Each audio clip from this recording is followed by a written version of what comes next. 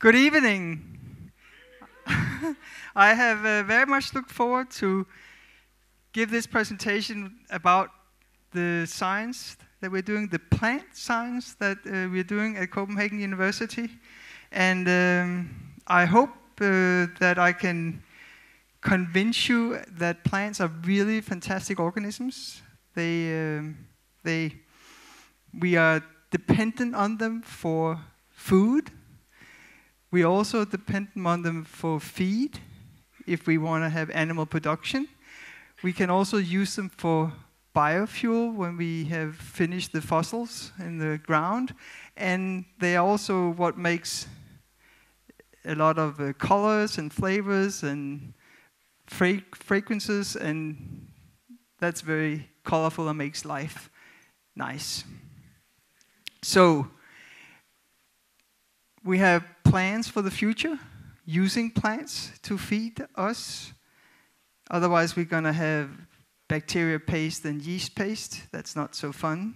So, uh, or insect uh, larvae.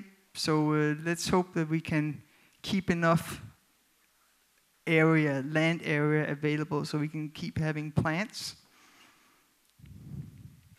So we have we meaning plant scientists have they have get, obtained a lot of knowledge. Plant science knowledge has simply exploded since 2000. And year 2000 is when the first plant genome was sequenced, and that was the genome of this plant. It's called Arabidopsis thaliana. It's the, the model plant. It was the first plant that had its genome sequenced, and it happened at the same time as Huku, the human genome got sequenced. So by working with genes, that means DNA, and by working with mutants, we have gained a, a, a lot of knowledge about plants. That means that we know how they become drought tolerant, we know how they handle flooding, so we have the knowledge that can be used to help out in those climate, climate challenges we have to grow plants in drought and, and flooding. We also know a lot about plant diseases, how the plant's immunity system works, so we can help them fight or, or, or be better at to improve the disease and the pest resistance. So I just want to tell you that we know a lot, and we know it at the gene level. Ever since 2000, that means 18 years ago, and up till the sequence was released, it was the small sequence was released. So for for two decades or, or longer, we have known. We started to understand what the various genes' function is. So we understand these processes. All right. So I also want to uh, tell you that plants are these fantastic synthetic chemists. I mean, they use it as a language. We, we, there's some people who discuss if plants have a brain, they don't have a brain, but they talk, they communicate, and they use chemistry to talk. So they use that to attract the pollinators. You can see here what it looks like for us, for the human eye. But if you want insect, you can see you're guided down where the nectar is. Boom, that's, that's sort of a little road sign, go there. And we don't have, we don't see that. We don't need to see that. We also uh, use it to generate volatiles, fragrances to attract pollinators, and we use it as perfume. They also use it when they get attacked by a larvae that start chewing in the plant. There will be uh, volatiles released that will attract parasitoids. So this is an insect that flies to the wounded plant and insert its eggs. This is oviposition into the larvae, so the larvae dies, and this one will take over. So the plant can call out for help. Come and help. I have this caterpillar that I want to get rid of. So it's pretty amazing what plants can do, all in chemistry. They can also make these fruits big and juicy so that they get eaten so that they can disperse the seeds. And the small jelly like things around the seed will go through the tract and you will have seed dispersal. They can also fend off attackers directly, not by attracting, attracting a parasitoid, but simply by making toxins. And they can make strychnine, they can make morphine. It's all as a defense. So they're grounded, they have the food in the, the the, the root in the soil, they can't run away like we can, but they can make nasty chemicals to fend off attackers. And actually, out there in nature, as a chemical warfare between plants, plants, and plant insects and plant microorganisms. They can also use it. So this plant here has been attacked right there. There's a pathogen infection right there. Then it increases, it communicates to the other parts of the leaves in the plant say, I'm being attacked, and they increase their resistance. But they also send volatiles over to the neighboring plants of their own species and communicate to them and say, Be ready, there's a, I'm under attack. So it warns them. So that's this fantastic chemistry that plants can do. That they, they also, plants, they rely on microorganisms to get enough nutrients, just like we do. So we have all our microbiome inside in our gut, and the plants, they have it outside in the surroundings of their roots. And uh, we have some examples that are very well known. We have that all the legumes, they, for example, soya, they have symbiosis with nitrogen-fixing bacteria. So you see these nodules here that can fix nitrogen. Because of the evolution of nitrogen fixation or this symbiosis, the legume family is the most abundant or has the most abundant plants all over the planet Earth. It's smart to be able to fix its nitrogen instead of getting nitrate and ammonium from the surroundings. Then we also have that 90% of all plants are in symbiosis with the fungi forming mycorrhiza. 90% of all plants.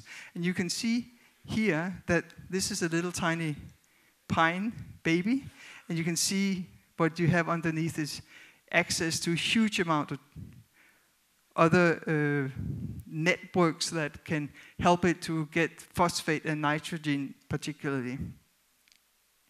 I want to draw your attention to this book. It's called The Hidden Life of Trees written by a man who works in the forest. So he has had his daily life in the forest. He knows his trees very well.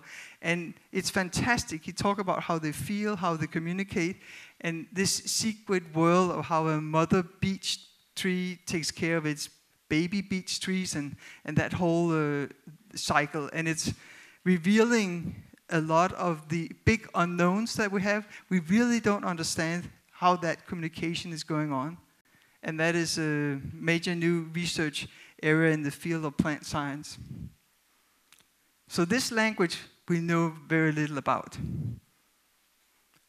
For humans, they are medicine, flavors, colors, and the two, we, we, we divide all the compounds that the plant produce into two groups. We have the primary compounds, which makes life, or make life. It's the building blocks. It's like amino acids that become proteins, it's fatty acids that form the membranes around every cell, it's the sugar that forms the fibers or the structural um, polymers, and it's the nucleic acids that becomes DNA and RNA. And here I like to draw your attention to the fact that we don't talk a lot about DNA as part of daily life. And I really hope with, with this uh, talk that afterwards that you, uh, if you were not comfortable with DNA before, you will be much more comfortable with DNA. But I mean, normally when you look at a, the food declaration, you, they tell you how much protein, how much sugar, uh, carbohydrate, and how much fatty acids. They don't tell you how much DNA is there, but we're eating tons of DNA all the time. Every single time you take a, a bite of an apple, every single cell has a whole genome. So, so uh, there's generally a lack of information about DNA, um, which I think is maybe making people think that it's something not so good, but uh, it is really good.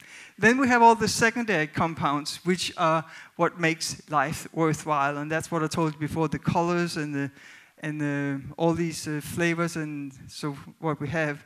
For example, here we have the French paradox. It's known that in so in the Mediterranean, the people, despite that they eat a olive oil rich diet, they uh, have a relatively lower uh, frequency of heart attacks, and people think it's the, the red wine. And red wine contains resveratrol, that as indications that it's a resveratrol that's responsible for, for the goodness in red wine. Then we have all these fibers that are good for our microbiome in the, in the gut, which makes sure that our microbes are happy. Then we have all the berries that are providing many antioxidants. And then we have here the cabbage family cabbages cauliflower, broccoli, Brussels sprouts, and normal cabbage. And they contain glucosinolates. I don't know if you heard that word before, but this is my research area. I've been working with those compounds. So, what are glucosinolates? Glucosinolates are secondary compounds. They are not essential for life, just like amino acids, fibers, fatty acids, uh, amino acids, uh, um, sugars, and lip, uh, fatty acids, and the nucleic acids. But they are important, and I'll tell you why in a minute. And they are only found in one order. There are about 53 orders in the plant kingdom, and they're only found in one order. And you can see here, you have them in all these various different species for different reasons. And here you have a lot of cabbages. And I just want to tell you that this is one species. It's one species, but different mutants of the same species. So I hope that you also, uh, uh, through this talk, uh, if you were worried about mutants before the talk, I hope you're not worried about mutants after the talk. Because there are mutants everywhere. We just, you, don't, you just don't think of it, but this is actually all mutants of the same species. Okay, here you have a glucosinolate, the chemical structure of a glucosinolate. You can see that there's a sulfur atom and another sulfur atom. That's why when you cook cabbage in the kitchen, it smells of sulfur they have a special sulfur chemistry. So when you then chew, for example, when you, for example, chew on a, um, a little radish, then uh, you hydrolyze the glucosinolate. So there's an enzyme that cleaves off this glucose moiety and you form this, and you get many different hydrolysis products. And that's one of the reasons the glucosinolate have so many different bioactivities. It's because of all these different hydrolysis products. So we call that the mustard bomb. And you know the mustard flavor. Also, if you take cress, kase, and chew on it, if you wait a little, it becomes stronger and stronger. You know in wasabi, that's all the hydrolysis products of a particular glucosinolate. It's uh, the, this type of hydrolysis product. So for plants, they are defense compounds. They help the plant to defend, for example, this caterpillar. We also see here, we have a pathogen called rust from wheat. If we take this hydrolysis product and grow it, or put it together with the pathogen, you can see that when you have the hydrolysis product, it doesn't grow as well as if you don't have it. So that's why we also call glucosinolate biopesticides. And we know in rotational agriculture, you want to put in the brassica in between your wheat. You want to rotate brassica and wheat because the glucosinolates will leach out into the soil and serve as biopesticides for the soil-borne pathogens. So that's also what we use in, oh, in biofumigation, where you grow up the crop only with the purpose of mulching it down into the soil so that the glucosinolate hydrolysis products can leach out and serve as biopesticides. We, Then there's uh, the health promoting aspects of glucosinolate. You've been told to eat more broccoli, and I'll get back to that later. We have these flavors, wasabi and mustard, and you know they taste very different. And that's because you have many different glucosinolate, you have many different side chains. You, you also know that a cauliflower tastes different from a broccoli, and it's all about the side chain. But generally, there are many different glucosinolates in the different cabbages, but they just differ in the composition. And last, we have glucosinolates in Arabidopsis, which was this model plant that was the first plant to have its genome sequenced. So we have had all the advantages of knowing the genome and what that means in terms of omics technology. Last, and I just want to say this, and then I want to tell you that this should not be a reason not to eat your cabbages. But when you have pressed the oil out of rape, you have a protein-rich rape cake, which has a particular glucosinolate there that is growth inhibitory for those animals that live of that as the only source of food. All right, so now I'm going to go into glucosinolate and health promotion. So all the way back to 1983, uh, it uh, was um, 1982, sorry, you were encouraged to eat broccoli to minimize risk of developing cancer. That was from the National Cancer Research Institute in the US. So what started the broccoli hype though? That because even though people give you advices to eat something doesn't mean people necessarily do it. But there came a hype after this paper came out in 1980, 1997. So what you see here is an experiment where you have a rat female rats, you give them treatment with a chemical called DMBA that induces breast cancer. And we know that one out of nine women in the Western world will suffer from breast cancer. So, um, but this is a way to induce breast cancer. So up here along the y-axis, you have number of tumors per rat. And then you have broccoli sprouts. And you make an extract of broccoli sprouts. And you give different micrograms of that broccoli sprout extract five days before you treat with the chemistry. So it's preventive. You give it five days before the DMBA treatment, and then you let time go and you monitor after 12, uh, 100, 120, 140 days how many breast tumors do the rats have. You can see the control one that didn't get any broccoli extract, it has this increase of breast cancers or tumor, tumors after these days. And then if you give 25, 50, or 100 grams, you can see you get less and less. I mean, when people saw that, it's like, okay, let's get out and buy some broccoli sprouts. And we, there's no reason not to do it. I went down the hallway and said to all the women, we got to grow some broccoli sprouts in our department because even though we're not rats and you've always been told by human nutritionists and that you cannot extrapolate from rats to humans, there's no risk in doing that. And if just if, if it's partly true, then uh, why not eat some broccoli sprouts? So that is the reason for all the hype about broccoli historically. This, this is the experiment. So broccoli sprouts prevent breast tumor formation in rats. Then we have Richard Mithen. He's a professor in Norwich in the UK, and he has over 20 years, he had made a super broccoli we, we cannot buy it in Denmark yet, although I have talked with COP, Co-op about it. I mean, they, they want to interview me because they were going to put it on the market, but we don't have it yet. But in the US and the UK, they have it. And uh, it's called Beneforte, and it's a super broccoli. And he obtained it by crossing in a wild relative into the broccoli.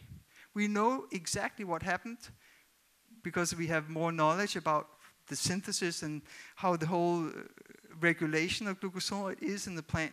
So we could make it very much faster by uh, transforming them in. But he did it by the classical way. Okay, but broccoli is more than cancer preventive. The, the hype was because of these rats, but now we know that broccoli, I mean, this is the uh, indications, the first intervention study where they measured prostate cancer, that there was a, a perturbation in the oncogenic, and that means the cancer signaling cascade. And then there's a study also where it has an influence on type 2 diabetes, the way of managing that for the body. And it also been shown to have uh, reduced the plasma LDL cholesterol, that is the, the bad cholesterols. So we now think that broccoli not only is good in cancer prevention, but maybe it affects higher up in the metabolic syndrome. And then you can, downstream of that, have cancer, diabetes type 2, or cardiovascular disease. So metabolic syndrome tells you that there's something in the metabolism that's not in balance, and then you get the various diseases. So this is also supported by a later intervention study that Richard Mithen has done, where he not only measured the change in the gene expression, but he also measured the change in the metabolites. And the sort of the press release statement after this came out is that a super broccoli retunes your metabolism to combat the effects of aging. And we know with aging, it is the mitochondria start to become degenerate, degenerate, degenerative. And we know that our mitochondria is our little power stations in every single cell. So um, I think there's a good many good reasons to eat broccoli. But if you look at, I mean, all his studies are done with the super broccoli and that contains two to three times more of a particular glucosinolate called glucoraphanin. So that means that for us who only have access to normal broccoli in the supermarket, we need to eat 800 to 1200 grams because his studies are based on 400 grams of super broccoli. And that's quite a lot of broccoli, honestly. So um, when, in, when you go to the health stores, you can buy all kinds of, of uh, here's tea, you know, decaf tea with brassica, uh, I mean, freeze-dried uh, broccoli uh, put into it. And I mean, you can buy all these for lots of money. And the problem with that is that you have no clue whatsoever how much you're getting of the bioactive compound. So you can spend a lot of money, but you don't know if you get the benefit. And that's why we have in the lab, we are working on engineering microorganisms to produce glucoraphanin so we can get dietary supplements where we get well-defined doses of uh, this particular glucosinolate. We are using different microbes we are trying out in coli, I mean bacteria and in yeast, and we're also trying out in algae. We're not there yet. We know the pathway, we know all the genes, but uh, that's not the same as you can get a high production right away. So we're working on it. I want to draw your attention to red cabbage. And that's because the compound that is highly enriched in broccoli compared to the other uh, vegetables, uh, a cabbage vegetable, is two times more present in red cabbage. So it's almost as good as super broccoli. So I just think that you should uh, use to eat more of the red cabbage, and not only for Christmas Eve.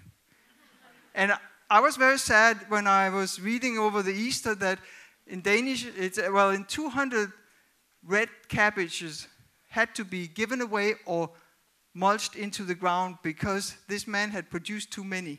And uh, I just thought that was so sad that he couldn't sell it. All right, so that is as much as I would say about cabbage family, vegetables, and health promotion. So now I'm going to talk about glucosinolate in oilseed crop. So, and the question we asked is, is mustard the robust, the, the robust new oilseed crop that can resist climate changes and replace oilseed rape? And I'm a little proud to say that we got, on the, we got on the cover of Nature Biotechnology in April issue 2017. This is like getting your picture on the cover of the Rolling Stones almost. It's like, ooh. For scientists, it is.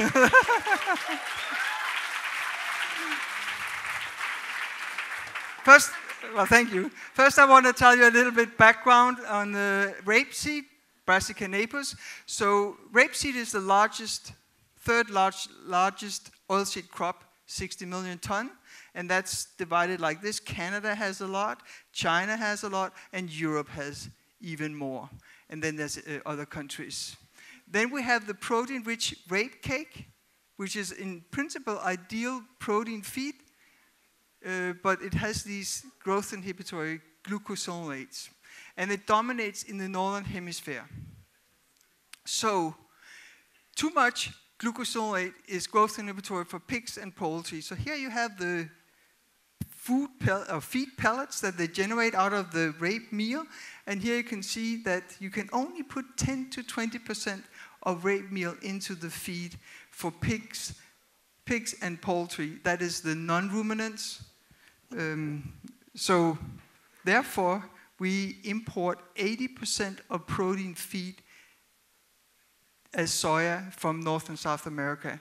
And that's not very sustainable. They are cleaving or clearing lands to grow soya for our animal production in South America. So, historically, for those of you who are my age, it's not that many I can see, but then you will think that there was been these yellow fields all the time, but that's not the case. Back in the 1970, there was a mutant so that there was no eruca acid in the, that's a fatty acid, this fatty acid, and it's not very good to eat. So they managed to get rid of that. They reduced it from 40% of the oil to 5% of the oil. That was in the 70s. They still had a lot of glucosinolates.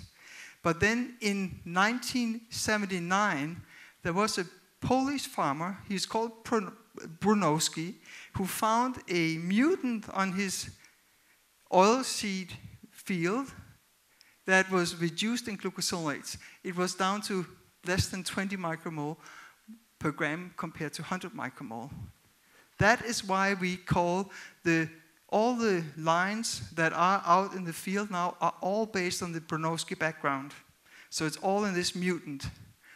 We don't know exactly what mutation has happened, but we know that it's low in glucosinolates. And that's why the field started to appear in the landscape in the summer. So you got this Bronowski mutant, low in eruca acid, low in glucosinolates. And then 20% could be used in the feed. Here you can see where the rapeseed is growing. It likes temperate climate, so it's growing here on planet Earth, and uh, it also requires some rainfall. That's why you see it around here. However, it is suffering when we get these climate changes, for example, this summer, uh, because it's not very good to grow in heat and drought under heat and drought conditions that affect the production. And what you see here is a zoom in on Canada. You have here the white is a coverage of less than 1 to 5%. So that's what you get in here where it's get really dry, dry and hot. So it's suffering. So uh, now I want to tell you about glucosinolates in the seed because a prerequisite for that we can be able to use mustard maybe as an alternative is that we, are able to remove the glucosinolates. And all these defense compounds that plants are producing, they are being moved around in the plant. And I don't know if you know, but all the nicotine that some people like to smoke out of the leaf has been synthesized in the root and moved up. We don't know much about that process, but we know that the synthesis is down here. And for the glucosinolate, we know that all the glucosinolates that accumulate to very high levels in the seed are not synthesized in the seed, but they're imported into the seed. That much we knew when we started this project. So, how to block import of glucosinolates into the seeds? You need to understand how the glucosinolates are imported into the seed. So, you need to understand at the molecular level how this process is if you want to prevent it in a predictable lifetime. So we have the advantage that the Brassica species are closely related to the Arabidopsis model. I mean, Arabidopsis uh, thaliana, which is this model plant. So we have all the advantages of being a model plant.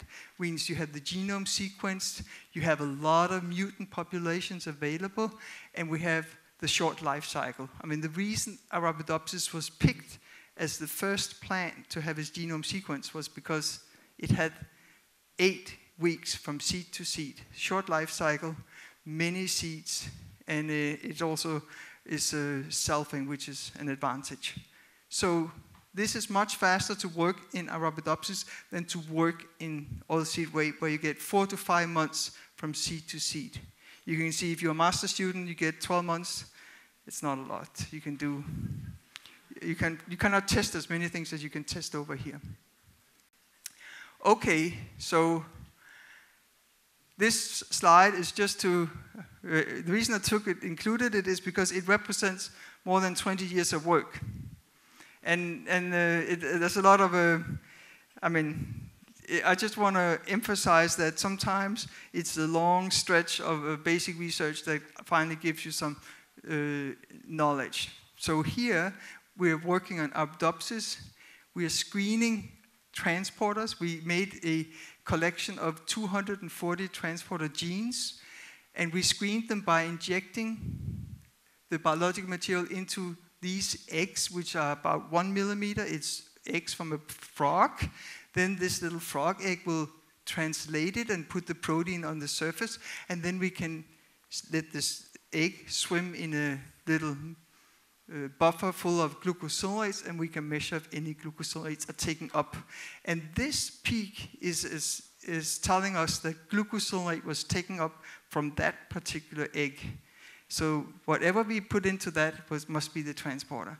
So we were very excited. This is one of those eureka moments that uh, you have every, every other year or every so often in science, which is what makes uh, this is the award for all the, the hard work. But having identified this transporter, the next question we had is, does this transporter play a role in loading glucosinolates into the seeds? That's not necessarily given because you found that activity. We tested it, and how would you go about testing that? You start looking for plants that are mutated in the transporter genes. So they don't have the transporter genes, so the glucosinolate will not come into the seed. So this is what we call transporter mutants.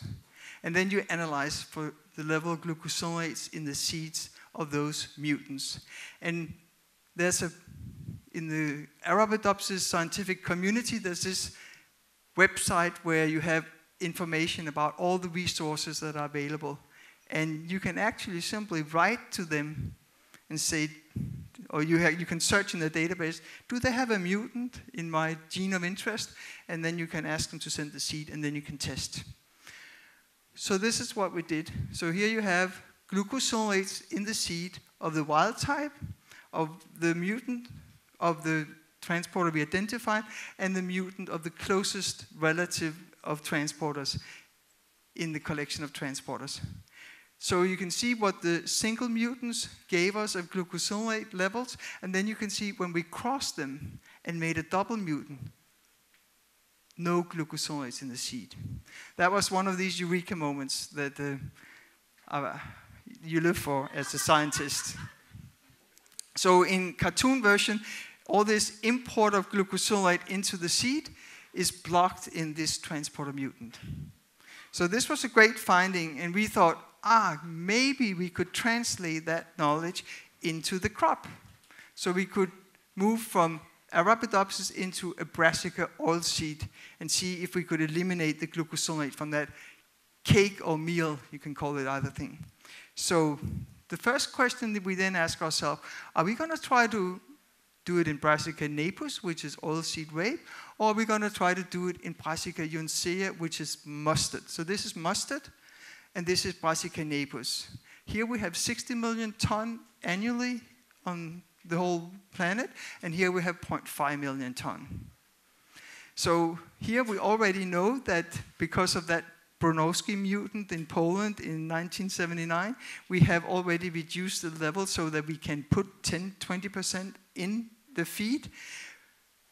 And here we know that there's, there has never been any attempt to reduce the glucosinol level, so uh, we could maybe gain more here.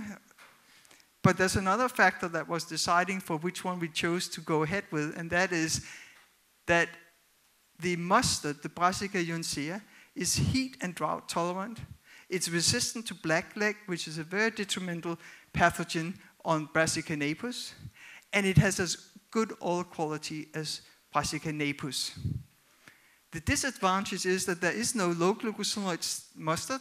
We have no Bronowski mutant in, available in this, and uh, there's only very little production.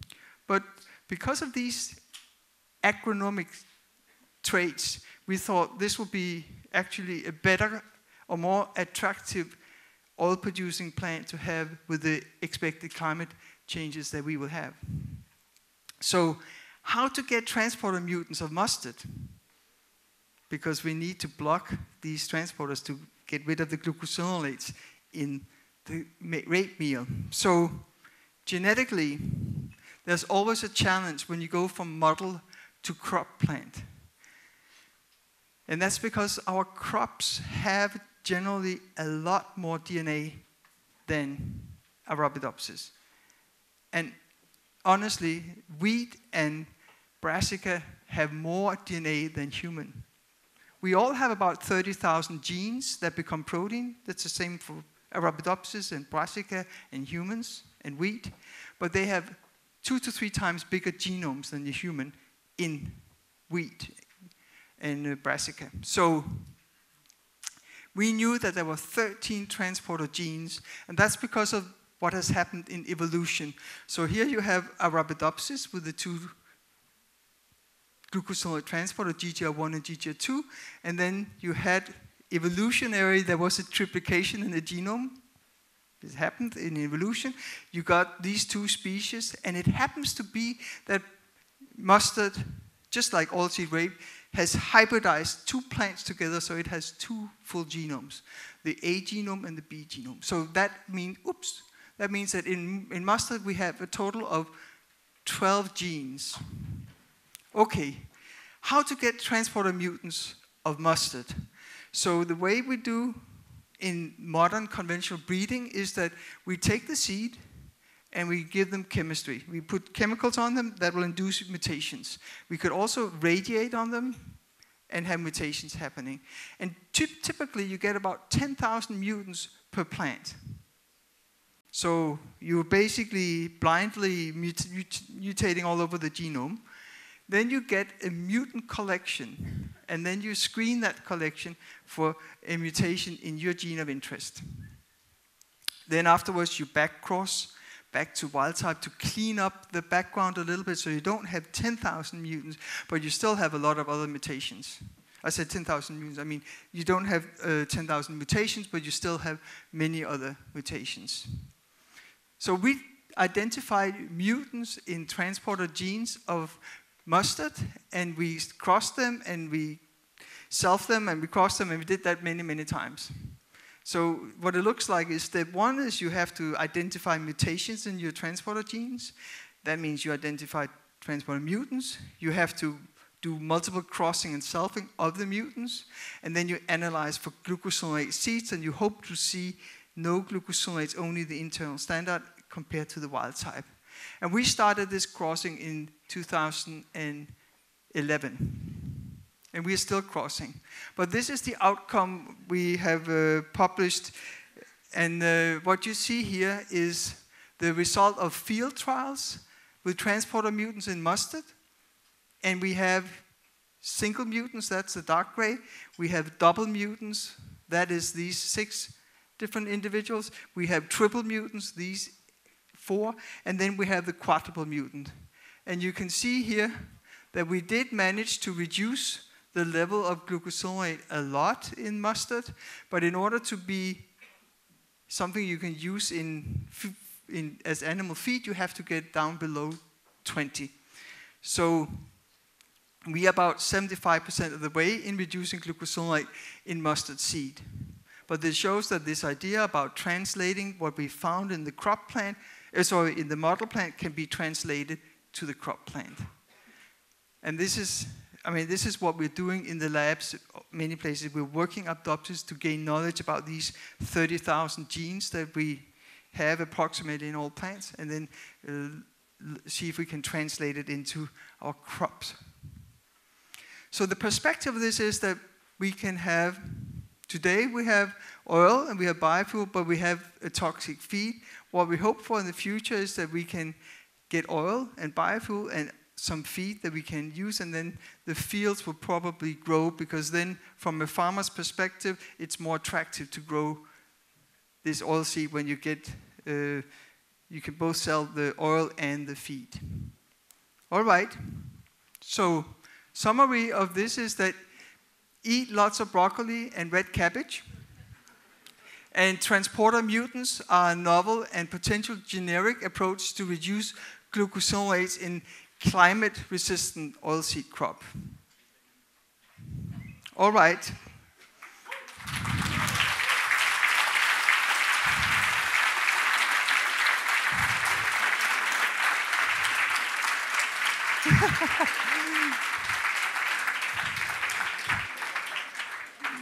so what I've talked about so far is what's going on in uh, my own lab, but I, I, uh, I couldn't resist the opportunity to have such a big, potential big crowd of uh, young people talk about agriculture and biotechnology. Because, I mean, we have a major challenge, and that is food production uh, needs to be able to feed 9.5 million people by 2050, at least. Yeah. that is at least what uh, is. Um, according to FAO. But we know also that today agricultural intensification to I mean we don't have more land and we mean we need to get more out of the land we have and what we've done so far is not sustainable it's harmful for the environment it contributes biodiversity loss it's ineffective at feeding the world and it's limited in available areas so that's the background under which we have to be able to feed these people. Just look at this picture. This is from 1565. Five, back in those days, we were five, they were five million people, and you can see that the men were just about the same height as a, as wheat crop here. And today, it's, it's basically a big industry. We have to, 7 million people, and, uh, and agriculture has become big business.